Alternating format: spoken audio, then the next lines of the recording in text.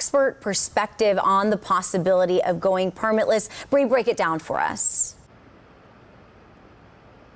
Chris and Nadine here at K&B Firearms and Training Facility. The owner, Beth Shute, tells me she is all about the Second Amendment. However, what is concerning to her about this bill is that the educational requirement may be taken away.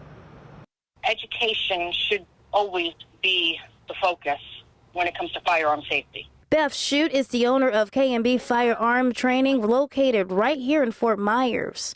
Under the state's constitutional carry proposals, classes like hers could possibly no longer be a requirement. Owning a gun is our constitutional right. You don't just get behind the wheel of a vehicle and just start driving and know everything. You take classes or you take tests and you learn something she believes is vital to gun ownership. Her classes teach the fundamentals of gun safety, how to properly grip and stand in gun storage.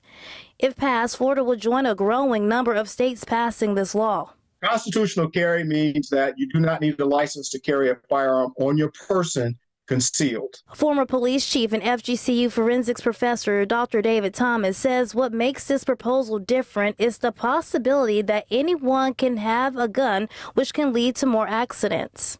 The one thing that the permit requires is that people are trained, um, that they get some form of firearms handling and they understand Florida state statute.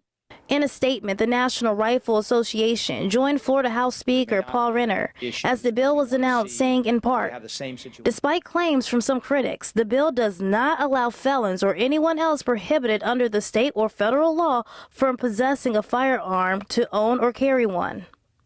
While Shute supports everyone's Second Amendment right, she believes education is still key. She adds that her biggest fear is that the bill will take away a different requirement leading to a potential safety hazard. I just want everybody to be safe. I just want anybody with a firearm in the home to be safe. I just want, it's just safety, safety, safety. I can't preach that enough. Now, if this bill is ever passed into law, the background checks to purchase a gun is still going to be required. Live from Fort Myers, Brianna Brownlee, Fox 4.